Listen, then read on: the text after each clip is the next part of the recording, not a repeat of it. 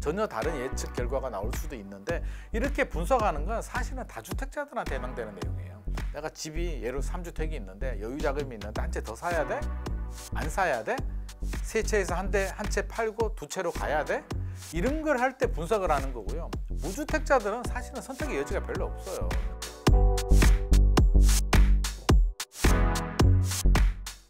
이게 점점 상승 분위기가 과열되니까 한 달 사이에 막 2억이 오른 호가에도 이제 집을 어. 사는 패닉 바잉 조짐도 좀 있다고 하더라고요. 네. 지금이라도 그럼 집을 좀 사야 될 걸로 보세요? 사고 싶으세요? 그 좋은 기회라고 생각하시는 분들이 많이 있는데 또 한편에서는 아마 불안한 마음도 있을 거예요. 아 이거 이러다가 진짜 오르는 거 맞아?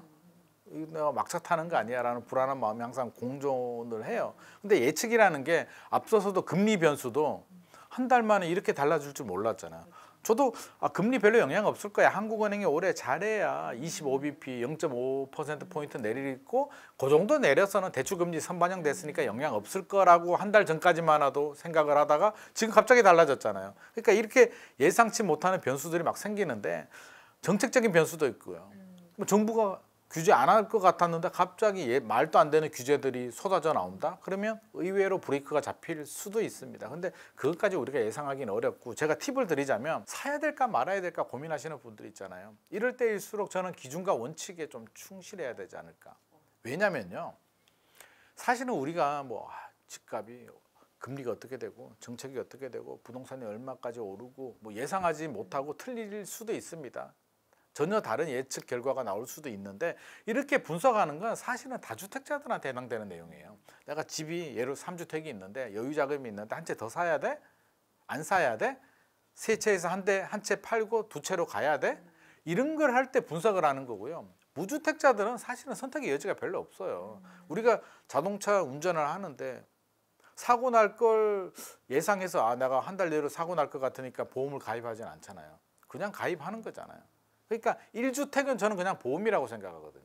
그냥 보험이에요. 근데 보험도 자기 상황에 맞춰서 하는 거잖아요. 자, 제가 항상 물어봅니다. 집을 살까 말까 물어보시는 분들은 무주택자예요. 무주택자라면 제가 물어보는 게 첫 번째 자금력이 되냐, 음. 구매 능력이 어느 그렇죠. 정도. 네. 두 번째 사야 될 이유가 있느냐. 음. 뭐 올해 결혼을 한다. 음. 예를 들어서. 근데 부모님이 이제 그런 말씀을 하실 수가 있잖아요.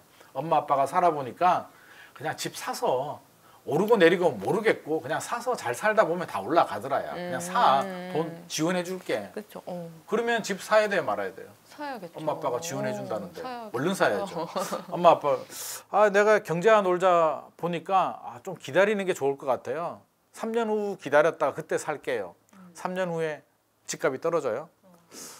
아버지 이제 돈을 좀 주셔야겠습니다. 집 사야겠습니다. 그러면 아버지가 뭐라 그럴 것 같아요? 미안하다. 네 동생이 먼저 집 샀다. 어. 집 돈이 없을 수도 있어요. 그러니까 기회가 있을 때는 잡아야 되는데 돈이 있고 필요하신 분들은 저는 사시라고 합니다. 왜 사라고 하냐면 떨어지면 어떡하죠? 라고 할 수도 있는데 막상 떨어지면 집 살 수 있을 것 같아요? 못 살 것 같습니까? 떨어질 때는 절대 못 삽니다. 떨어지는 칼라는 원래 잡는 게 아닙니다. 왜? 피나잖아. 다치잖아요. 그런 논리면 2022년 12월에 금리 올라서 집값 막 떨어졌잖아요. 둔촌주공 올림픽파크 포리온 또 막 미개혁 나고 난리 났잖아요. 그때 우리 왜 안 했을까? 더 떨어질 것 같은 두려움. 지금 생각해 보면 당연히 했어야 되잖아요. 지금 올림픽파크 포리온이 25억에 나오잖아요. 전용 84가 13억대 분양가였는데 그때는 왜 안 했을까? 지금 와서 후회하잖아요. 아 할 걸. 고덕 그라시움 올해 올 초만 하더라도 15억 거래되던 게 지금 20억 거래가 되잖아요. 왜 안 했을까? 그때는 떨어질 것 같았으니까. 그러니까 막상 떨어질 때는 못 들어가요. 떨어질 때 집 사는 사람은 어떤 사람이냐면 저는 이런 사람 잘 보지 못했는데 엄청 똑똑하게 현명한 판단을 잘하는 사람. 근데 현실적으로 굉장히 없습니다. 전문가들도 이렇게 못합니다. 그러면 두 번째 어떤 분들이 사느냐? 간이 배 밖에 나온 사람. 잘 몰라. 잘 모르고 그냥 어 사야 되는 건가? 사는 사람. 두 번째 아무 생각 없이 필요해서 사는 사람. 근데 타이밍이 맞아 떨어진 거죠. 2012년, 13년이 서울이 바닥이었거든요. 그때 어떤 분들이 집을 샀느냐? 이불입니다. 간이 배 밖에 나왔거나 그냥 아무 생각 없이 필요해서 아, 우리 애가 서울대 실제로 그런 분이 계셨어요. 일본에서 사업하시는 분인데 아들이 서울대 간 거예요. 어, 서울대가 2호선이 다니니까 야 2호선 라인에 서초구는 비싸고 송파구에 엘스 이거 하나 사야겠다. 한국 상황을 전혀 몰라요. 그냥 샀어. 8억 7천에 지금 27억까지 갔다가 최근에 25억 가잖아요. 그러니까 그 사람이 아, 알았으면 살수 있겠냐고요. 그냥 필요하니까 산 거예요. 아무 생각 없이. 이런 사람들 아니면 떨어지는 칼날 절대 못 잡습니다. 그래서 저는 실수요자들이라면 자금되고 필요하신 분들이라면 그냥 하세요. 하는데 이왕이면 이제 전고점 있잖아요. 최고 가격, 최고 가격 대비 좀 더 살짝 좀 떨어진 곳들, 서초구, 강남구, 마용성, 뭐 송파구, 강동구, 동작구 이런 데는 최근에 거의 다 전고점 가까이 왔습니다. 왔는데 찾아보면 이제 자금력에 따라서 돈은 좀 부족한데 나는 하나 사고 싶은데 또 노원구 상계동이나 중계동 보면 아직도 고점 대비 80% 또는 그 이하 수준의 아파트들이 있거든요. 그러면 그런 거 사도 괜찮아 하는 분들은 저는 그런 거 사셔도 된다. 그래서 본인 수준에 맞춰서 필요하거나 자금이 되시면 사셔도 된다. 또 하나의 전제 조건 하나 더 있다면 이제 리스크 관리를 좀 해야 되거든요. 자금이 100% 있는 사람이 없잖아요. 다 대출을 받아야 되는데 어, 2022년, 2023년 요때 금매로 좀 많이 던지신 분들이 주로 어떤 분들이냐면 2020년, 2021년 무리하게 연끌하신 분들. 대출이자 감당이 안 되는 겁니다. 그때 제가 상담 받을 때 이제 그런 분들이 꽤 많이 있었는데요. 예비 신혼부부예요. 한 사람은 혼인 신고를 안 하고 담보 대출을 받습니다. 또 다른 배우자는 세입자로 전세 계약을 하고 전세 대출을 받습니다. 그러니까 부부가 다 레버리지를 일으키는 거예요. 거기에 신용 대출까지 일으킵니다. 자기 자본 1억 2억 가지고 10억이 넘는 아파트를 삽니다. 그때 제가 물어봤습니다. 그분들한테. 아, 리스크가 좀 있는 것 같아. 금리가 갑자기 올라가면 어떻게 대응을 하시려고요? 하니까 그럴 리가 없다. 근데 시- 그럴 리가 없다라고 했는데 그럴 일이 생겼잖아요. 1년 만에 제로 금리에서 5.5%까지 갔잖아요. 대출 이자가 두 배 올라가니까 계산이 안 돼. 감당이 안 되는 거예요. 그래서 우리가 리스크 관리를 할 때에는 지금은 금리가 내리 내리겠죠. 저도 뭐 99% 금리가 내린다고 생각하는데 어, 내년에 또 다른 상황이 발생해서 갑자기 금리가 큰 폭으로 올라갈 일이 100% 없다라고는 얘기 못 하잖아요. 그래서 항상 투자를 할 때에는 내가 대출을 받았다면 상황에 따라서 원리금이 또는 대출 이자 상환 부담이 갑자기 두 배로 늘어나는 최악의 worst case가 생겼을 때 3년은 버틸 수 있는 내가 부부가 같이 노력을 해서 좀 힘들더라도 3년은 버틸 수 있다 그러면 저는 리스크 관리가 됐다. 근데 어, 절대 못 버텨요, 우리. 이거는 우리가 계산한 데서 벗어나면 우리는 무조건 금매로 팔아야 돼요 하시는 분들이라면 리스크 관리가 되지 않았습니다. 그러면 가격을 낮추든지 지역을 다른 데 알아보든지 아니면 홀딩을 하고 좀 더 준비가 될 때까지 기다리든지 그런 전략을 좀 해야 되고요. 1주택자들 집 하나 있는 분들이 최근에 많이 갈아타고 했는데 1주택자들도 사실은 답이 없어요. 그냥 하면 됩니다. 왜? 많은 분들이 선생님 내 집은 좀 올라갔으면 좋겠고요. 내가 갈아타고 싶은 집은 좀 떨어졌으면 좋겠어요.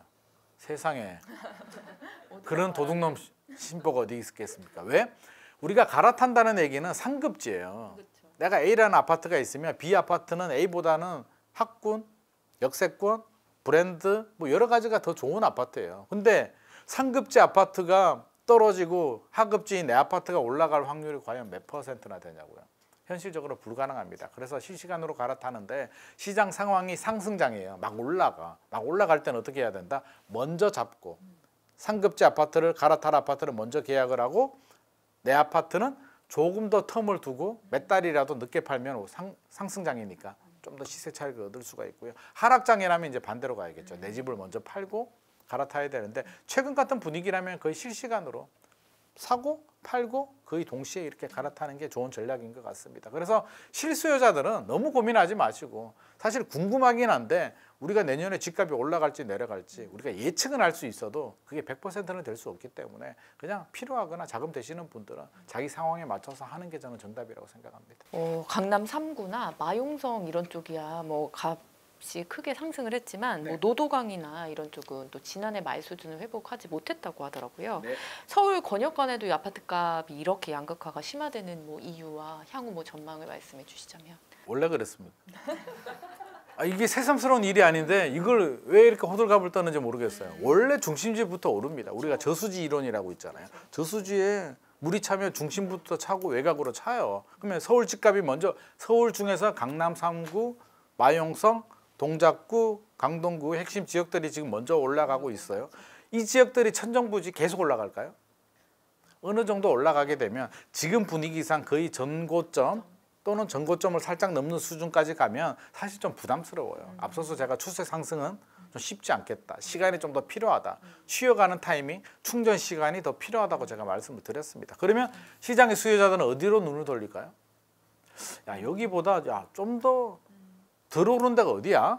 라고 찾았을 때 들어오는데 또 작은 부담이 적은데 찾아보면 사실 노도강이거든요. 과거에도 그랬습니다. 그래서 최근에 노도강이 아마 좀 거래가 좀 되고 있을 거예요. 제가 알기로는. 그렇다면 노도강이 고점 대비 80% 수준이라면 저는 필요한 분들, 자금 되시는 분들이라면 충분히 들어갈 만하다. 이게 시차가 있습니다. 모든 지역이 동시에 움직이지 않기 때문에 서울에서 외곽지인 노도강이 늦게 반응을 하는 거지 반응을 안 하는 건 아닙니다. 물론 반응하려고 하는데 갑자기 뭐 정부가 강한 규제 대책이 나왔다. 금리가 갑자기 반대 상황이 발생했다 그러면 노동강은 좀 억울할 수도 있죠. 어, 우리 올라갈 타이밍인데 갑자기 불이 꺼져버릴 수도 있는데 상승장이 지속이 된다면 이게 돌고 돌거든요. 그러니까 노도강 오르고 수도권 외곽 지역들도 오르고 지방으로 오르는데 이 불길이 얼마나 오래 지속이 될지에 대해서는 지금은 추세 상승은 아니기 때문에 아마 지방까지 가기는 좀 어려울 것 같고요. 저는 노동강까지는 충분히 가능하지 않을까. 제가 앞서서 이제 원래 그랬다라고 했는데 제가 옛날 얘기 살짝 한번 해드리면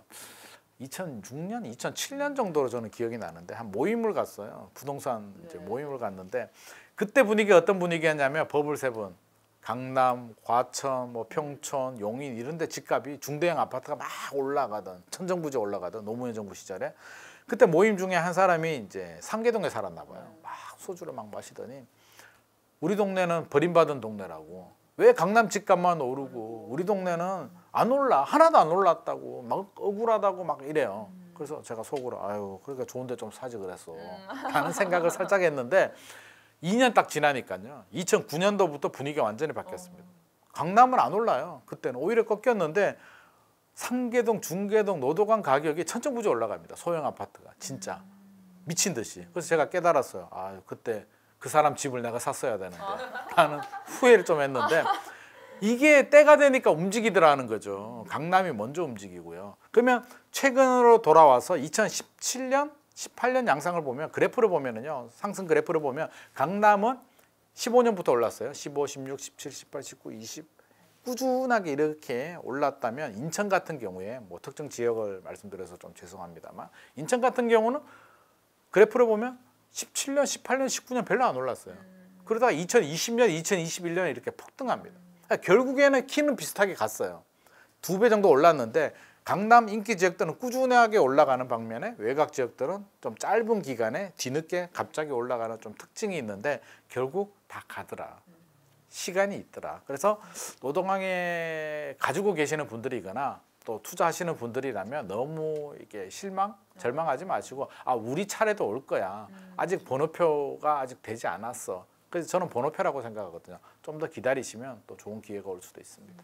정부가 부동산 대책을 정말 많이 내놓는 것 같은데요. 7.18 대책, 이 새로운 대책을 내놨는데 오히려 부동산 시장에서 실효성이 떨어진다 이런 지적도 나오고 있거든요. 네네. 어떤 부분이 개선돼야 할 것으로 소장님은 좀 보고 계세요? 지금 정부 대책의 포커싱은 공급 확대. 왜? 공급이 부족하니까. 시장에서 그렇게 얘기하잖아요. 공급이 부족해서 나는 불안하니까 집을 사야겠다라고 이야기를 하니까 정부가 아 그래. 공급이 진짜 부족하구나. 공급을 늘려야겠구나라는 대책이 나오는데 시장의 목소리에 귀를 기울였다라기보다는 공급이 이슈가 된 게 문재인 정부 시절 때부터 이제 공급이 부족하다라고 하는데 공급이 부족한 게 이게 정부 입장에서는 굉장히 달콤한 유혹이에요. 왜냐하면 공급은 시간이 오래 걸리잖아요. 아파트는 한 10년 걸리거든요. 그러니까 공급이 부족한 게 내 잘못이에요, 아니면 이전 정부에서 잘못한 거예요. 내가 잘못해서 공급이 부족하지 않아요. 정부 입장에서 보면 어, 우리는 열심히 노력을 했는데 공급이 부족한 걸 나보고 어떡하라고. 나 열심히 할게. 삼기 신도시 만들게 라고 해서 문재인 정부 때 2018년에 삼기 신도시가 나오잖아요. 2017년에 열심히 규제했거든요. 수요 억제 규제를 했는데 집값 못 잡았어요. 그러니까 아마 내부 회의를 했겠죠. 야 어떡하냐? 야 이거 아무리 규제해도 집값 오르는데? 그럼 누군가 아이디어 냈겠죠. 그냥 공급 부족한 거로 갑시다. 어차피 서울은 공급 부족한데 지금부터 우리 열심히 하면 되잖아요. 그래서 삼기 신도시 나왔고 윤석열 정부도 똑같이 지금 공급 부족의 카드 서울은 원래 공급 부족합니다. 공급이 부족해 카드가 나오는데 이게 시장에서 왜 안 먹히느냐?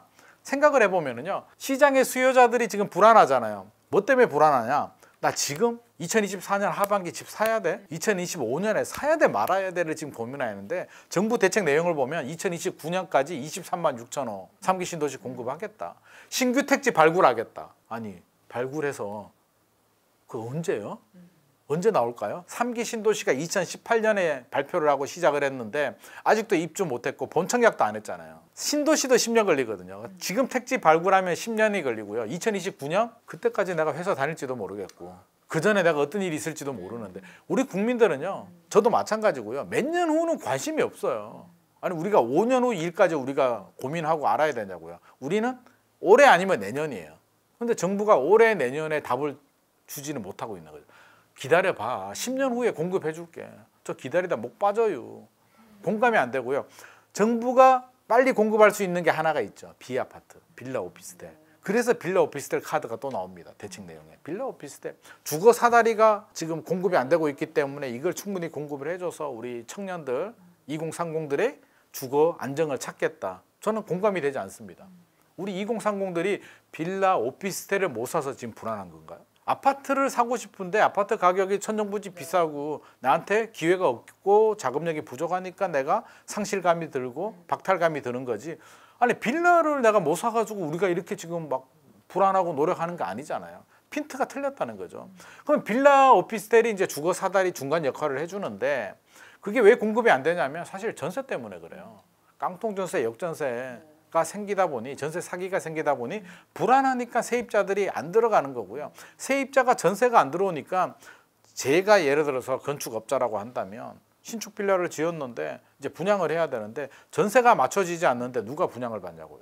아파트하고 다르게 빌라 오피스텔은요 갭 투자 수요들이 많거든요. 그러면 분양가가 3억이면 전세가 2억 7천 정도 맞춰줘야 돼요. 2억 7천이나 2억 5천. 그러면 마케팅 포인트가 3천에서 5천 투자하면 살 수 있어. 너 내 집 마련할 수 있어라는 게 포인트예요. 야 3천 5천으로 서울에 아파트 살 수 있어? 못 사죠. 3억으로도 쉽지 않은데 네가 할 수 있는 방법은 3천 5천으로 빌라 오피스텔 사는 것밖에 없어. 전세 끼고 이게 포인트인데 전세가 안 맞춰지면 모든 게 다 수포로 돌아가거든요. 그래서 공급이 안 되는데 정부는 또 포인트가 또 틀렸죠. 자꾸 공급하겠다. 규제를 풀어서 빌라 오피스텔을 사면 세제 혜택을 주겠다. 또 용적률을 올려서 많이 짓도록 해주겠다. 그거는 어떤 분들이 주장을 하는 거냐면 건축하시는 분들. 간담회 같은 데 가면 또 건축하시는 분들이 와서 이제 막 의견을 내는데 그분들 항상 주장하는 게 그거예요. 왜? 자기들 사업하기 좋으니까. 세제 혜택 주세요. 용적률 좀 풀어주시고요. 주차장법 완화 좀 해주세요. 왜? 지들 사업하기 좋으니까. 그러면 어떤 분들이 돈을 버느냐? 건축을 하시는 사업을 하시는 분들이 돈 벌어요. MB 정부 때 도시형 생활주택을 많이 공급을 했는데 어떤 분들이 돈 벌었다? 첫 번째 시행하시는 분들 땅을 사서 도시형 생활주택을 지은 분들이 제일 돈을 많이 벌었고요. 두 번째 그걸 판매하시는 분들 수수료 없고 세 번째 계약하신 분들이 세 번째 삼순입니다. 제일 돈은 못 벌었어요. 아파트는 그렇지가 않잖아요. 그래서 이것도 포인트가 틀렸다. 우리 국민들이 공감하는 부분이 아니고요. 가장 결정적으로 그래서 뭐 몇만 원, 20만 원, 3만 원, 2만 원뭐 이런 얘기가 나오는데 정권 시작할 때 계획 목표를 얼마로 하신지 기억이 나시나요? 270만 원 플러스 알파 뭐 이런 얘기 나왔었잖아요. 270만 원을 공급하겠다라고 발표를 했는데 2만 원, 3만 원가 귀에 들어오냐고요. 그리고 우리 국민들은요. 저도 마찬가지고 숫자 그렇게 민감하지 않습니다. 숫자 기억나세요? 대책 발표되면 기억해요? 우리 기자님들도 기억을 못 하거든요. 저도 마찬가지예요. 왜? 우리 국민들은 숫자에 관심 없고요. 아, 기다리면 내 집 마련 할수 있겠다. 아니면 아, 이거 안 되겠다. 그냥 이게 약간 MBTI로 따지면 T보다는 F적인 접근. 어, 괜찮겠네. 어, 기다리면 내 집 마련 할수 있겠어 하면은 안 불안합니다. 근데 지금 정부 대책을 보면 약간 T적인 접근. 여자친구가 막 속상한 일이 있어서 막, 막 화내고 울어요. 예를 들어서 그러면 남자친구가 T 같은 사람은 어떻게 하나요? 여기 들어보니까 네가 잘못했네. 어? 이 그때는 이렇게 해야 되고 이렇게 해야 되고 이렇게 하고 네가 이렇게 했어야 되고 화가 더 나죠. 이 인간이 너 뭐 하는 거야? 너 누구 편이야? 라고 하는데 어떻게 해야 돼요? 아 정말 힘들었겠구나. 토닥토닥대고 물론 여자친구가 잘못은 했지만 일단 위로해주고 잘, 아 진짜 힘들었겠구나. 우리 맥주 한잔 하자. 아무렇지도 않게 다 해결이 될 수도 있거든요. 그러면 부동산 정책도 마찬가지죠. 정부는 지금 T적인 접근을 하는 거예요. 2만 원, 3만 원. 뭐 하는데 국민들은 지금 티가 중요한 게 아니라 내가 불안감을 좀 달래주고 싶고 내가 기다릴 만한 명분을 좀 찾고 싶은데 정부는 자꾸 티로 접근하니까 네가 잘못했고 내가 공급을 해줄 거고 10년 후에 해결되니까 안심해. 나 10년 못 기다리겠는데. 난 지금이 불안한데 내 친구는 지금 집 사서 5억이 올랐는데 나는 지금 집이 없어서 불안한데 10년을 또 기다려라고 이게 지금 저는 포인트가 잘못 잡고 있다라는 생각이 듭니다. 그래서 정부 정책이 이렇게 발표돼 가지고는 사실 브레이크 역할 올라가는 서울 집값을 좀 안정시키기는 좀 역부족일 것 같고 저는 약간 F적인 대책이 좀 나와야 되지 않나. 뭔가 시선을 돌릴만한 우리 파리 올림픽 보면 그 신유빈 선수가 탁구 할 때 일본 선수 보셨어요? 막 지고 있으니까 작전 타임 부르고 옷 갈아입고 나오잖아요. 그 흐름이 바뀌었잖아요. 3대 0으로 이기다가 3대 3까지 몰렸단 말이에요. 그게 흐름이거든요. 주택 시장도 저는 마찬가지라고 봅니다. 정부가 약간 옷 갈아입는 같은 쇼 같은 거 그게 뭐냐면 저는 그런 생각은 들어요. 이렇게 뭐 공급은 원래 하는 거고 공급은 원래 늘려야 되고요. 뭘 해야 되냐면 지방 미분양이 심각하잖아요. 그러면 사람들이 지방으로 좀 눈길을 좀 돌릴 수 있게 빌라 오피스텔을 사면 세제 혜택을 주는 게 아니라 지방 미분양을 1년 내에 사면 우리 양도세 5년간 면제해 줄게. 취득세 면제해 줄게. 재산세 감면해 줄게. 대출 이자 절일해 줄게. 건설회사들은 분양가 할인해 줄게. 라고 하면 우리도 관심 가지지 않을까요? 어? 지방 미분양 한번 사볼까? 관심을 트는 순간 물기를 돌리는 순간 저는 충분한 효과가 있다고 봅니다. 그래서 좀 그런 발상의 전환이 좀 필요하지 않나 싶습니다. 분양가 상한제는 어떤 지역이 적용이 되냐면 규제 지역. 강남 3구, 용산구에 나오는 신축 아파트들은 시세 대비 30% 정도 저렴합니다. 무조건 들어가셔야 됩니다. 물론 강남에 나오는 곳들은 뭐 레미안 원펜타스 같은 경우는 전용 84가 분양가가 23억 정도, 23억, 24억이에요.